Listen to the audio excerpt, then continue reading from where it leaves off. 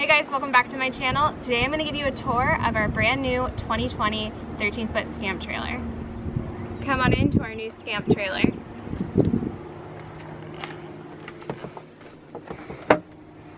So we'll get started with the stove. We have a gas stove that I have underneath here, which is run by propane. And we picked for the cover as an option. What's really nice about the Scamp trailer is you can kind of customize everything that you want for the 13 or the 16 or the 19 and we'll go over a video with exactly what we picked when we ordered it but we did pick for a cover for our stove I think it's really nice you can use this as a place to place a cutting board or store things when you're not using your gas stove so we really enjoy that we have a sink here with a hand pump and with a hookup so if we're at a campground or not it also has a freshwater tank which is really nice and a gray water so that's pretty much everything we got for the water hookup. We decided to not do a bathroom and um, I can go over another video of everything that we've added in and kind of customized in this, but so far that's been really great. We also got a mini fridge. So this guy's a little bit small, but perfect for the two of us. So we'll fill this up really fast. This can run on the battery or propane or our when we go to a campsite and do a hookup and it also has a lock that's really nice when you travel so nothing's gonna fall out of there. We have a little storage underneath our sink, lets you access anything you need to under there. We'll probably just put a trash can there for right now. And then we have some overhead storage up above too and everything is brand new so everything really sticks right now. Um, but it's a lot of really nice space. There's more storage than you think in here. That was one of the things I was pleasantly surprised about is that it's really really deep cupboards and that you can probably store a lot up there. All right there are two more cabinets right here which again are very deep and are great to store things. We have haven't really accumulated a ton of stuff yet, but I'm sure it'll be packed within no time. But really, again, really tall cabinets, which is nice. Right now I have this set as a bed. We are gonna fold it up to a table for you guys. This is a full-size bed, really easy to kind of break up and put down. And so most people can leave it like a bed when they travel, or you can set it as a table. Either way, again, very convenient and there's lots of storage underneath. So if you wanted to, you could put some things down there, which is another great option. Just filmed putting the bed into a table twice because we had so many people come up to us and talk to us about the trailer. So I'm gonna share it with you guys again, hopefully without interruptions. So the bed just pulls apart really easily. These middle parts come out. You can just place them aside.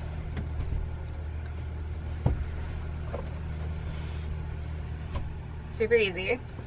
Inside here, there's extra storage. So on both sides, there are these storage bins, which let you access some extra water tanks that are in here and also give you some deep storage that you can have. So it's on both sides. Okay, to get the table out, this middle part just comes off. You can just store it somewhere else. We're probably gonna store it in our car when we're not using it. See, nice piece of wood. I'm just gonna put it up here for right now.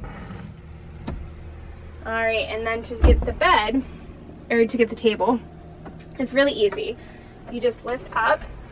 There is a leg that clicks into place.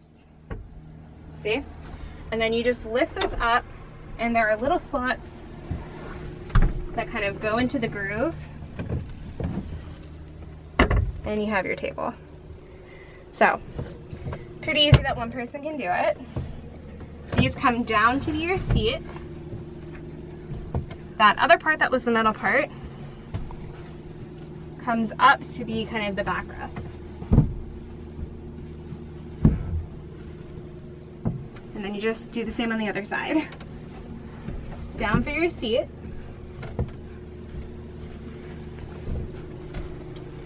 And the other part fits in. And this table can fit four people really comfortably. Lots of leg room, the table is really secure, really easy to put back down or flip up. Most times we look at it as a table and then we'll set up as a bed before we're ready to go to sleep. But super um, open and spacious so that it makes the trailer feel really, really big. And we've had four people in here and it looks great. We're gonna move over to the couch that turns into bunk beds. So I've just pulled everything off the couch over here, all of our cute decor that we bought for the trailer. But the couch is super comfortable. Um, it does turn into a bunk bed and it does sleep four people. I would say it sleeps two adults and two kids. So if you have a growing, growing family or if you want some extra room with the bunk beds, it's really nice to have extra storage. It might be a great option. So we are planning on taking our two Shih Tzu puppies camping with us and so they will adore this as their bed. And I like to have it as bunk beds so we have a little bit of extra places to put bags or put some belongings. So I'm going to show you guys how to turn it into a bunk bed. It's really easy. We also have extra storage up above. So there is all this extra room. It's super deep. So again, storage is really awesome in this thing. It really, we have lots of nooks and crannies to put things. I'm not really worried about storage when we travel because it goes the whole length of this upper part.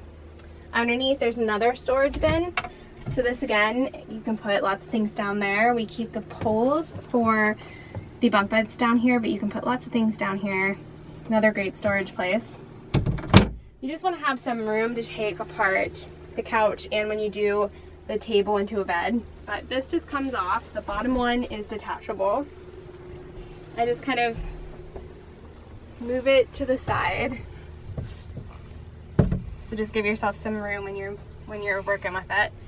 And underneath here there's two more storage bins. So just like the bed, there are these two little storage bins underneath. You can access your electrical things in here um, but there is room to store a couple different items. There are two of these places to put the poles. So I have the poles pulled out. This little latch goes on the upper part and what's really nice too is that this bed, this bottom part is attached but the bottom isn't so it kind of swings upward. The top is, is latched to the, to the trailer but you can grab it underneath, pull forward and then there's little screws that sit for your bunk bed. So this can, you can be like around 120 pounds, I believe, to be on the top. It's mainly made for kids, so just keep that in mind when you get it. But again, you can put lots of storage up here. All right, so my two poles are in. It's really, really nice and sturdy. And then all you do is you fit the bottom one back in.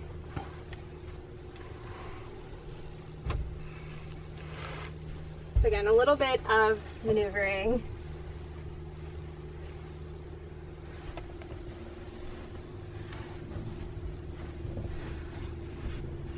Everything is still brand new, so.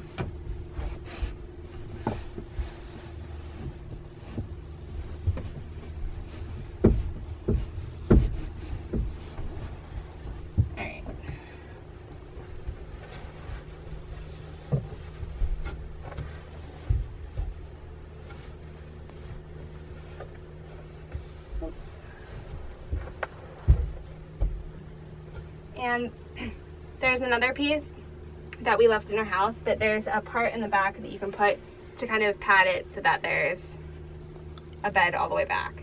Um, but it's really simple to make a bunk bed or to take down. And like I said, a ton of storage. There's also storage right above where we have the table. I forgot to show you guys. Um, both sides are the same. So again, very deep. And we have these little lights. So I'll go over the lights we got now. Um, we picked two little reader lights on either side. Okay. We also put a fire extinguisher for safety. We have some more lighting here. And again, you can customize everything for your trailer. So I'll make a separate video on everything that we picked and why, but lots of lighting. We have four lighting on this side and one up here So this can get very bright. We also went without getting a um, air conditioning unit. We went with a fan and the fan comes with its own remote. So it's very fancy. It's a 10 speed fan Uh, it's the Maxxair. And so it can suck hot air out and cool you off in the summer. So I will, I can do a review once we've had high humidity here in Pennsylvania. Um, if we regret not getting an air conditioning, but we just went with a fan for, for now. Um, we also didn't go with a furnace. We just have a little personal sized furnace that's really small that heats it up because it's such a small trailer that really it cools down heats up very fast. So that's why we personally used it. We also have lots of windows that open with screens that are very nice. There's a window here, a window against the back of the trailer. There's a window um, on the other side and two more. There's one by the kitchen and then this one back here they have a gravel shield, but it comes off to be another window. I think the last thing before I let you guys go and we do the outside is that we also opted for a screen door. So what's really nice is that you can have your door latched open and you can have a screen door in the summer to keep all the bugs out. So this is uh, something we're going to use very often. Let's go check out the outside. I forgot to mention that we do have some you know, outlets inside of our camper as well as some USB ports. So I'll put some B-roll on the screen now to show you all of the awesome things that we have inside the camper. I forgot to say that when we were going through it. We do have some lighting for the outside of our camper. We have a light that goes right up on the side of it. We also have a light that goes in front of our camper, so if you hook up at night, it's really convenient to see what you're doing. So we opted for both. All right, over here, we have more of electrical outlets that you can hook up. It was really important to us to be able to cook outside and do different things. So again, everything is customized for the Scamp, and this is something that was really important to us. We have more brake lights. Our fresh water connector is out here. More brake lights. Very important to have brake lights. We have our waste um, water and our city water connector. We didn't do anything with a bathroom, so these are just really easy and simple water options that we're for hooking up and different things. We also have the electrical panels, but we don't have to access that. Those are what these are.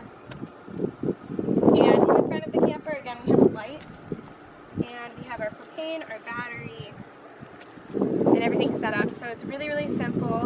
Um, and again, we went with options without a furnace, without a air conditioning, without a bathroom, so that we can make camping as simple as we possibly can.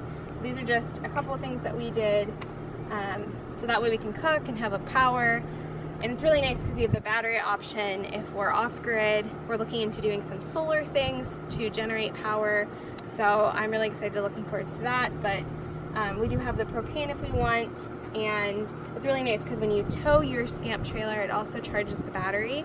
So that's another great option as well when you're camping. And most places do have hookups, so you can always do that as well. So we have it hitched to our Subaru Forester and the Forester can pull around 1500 pounds. And one of the reasons why I researched and found the Scamp trailer is that it's so light. It's only around 1100 pounds without a bathroom. So really I wanted to be able to pull it with the car we already have and it's been able to do that. So one of the options if you have a smaller vehicle and you don't want to buy a truck is to look at the Scamp trailer because they are really, really light. So we have it hitched up, we have wireless control brakes, which are really a good option, especially if you're towing it with a lighter vehicle. And then we have the gravel shield, which just pops off and you can have an extra window. So that's pretty much it. Um, a lot of people tell us when they come into our trailer that it feels a lot bigger than it looks, and I think that's just the awesome design that Scamp did. This whole thing from the hitch is 13 feet, but inside our little trailer it's only 10 from the wall to the wall. So it is a small space, but really they did a great job designing it so that you can make the couch a bunk bed and the table a bed and really we've had four people I think are the maximum we've had in it so far. And it doesn't feel like it's anyone's crowded or it's too little. So um, four adults I should say. Um, but yeah I hope you guys like this video. If you guys want to see more videos on our Scamp trailer or camping or anything else to have to do that we've purchased this I'm happy to make them. We're gonna have a video coming out about how much it costs, um, ordering one. This guy came all the way from Minnesota, and as you guys know, we live in Pittsburgh, so it was quite a long distance for it to travel. And I'm happy to talk about how we ordered it, the ordering process, anything you guys want. So make sure you leave me a comment, give this video a thumbs up, make sure you're subscribed, and I'll see you guys in the next video. Thanks for watching. Bye.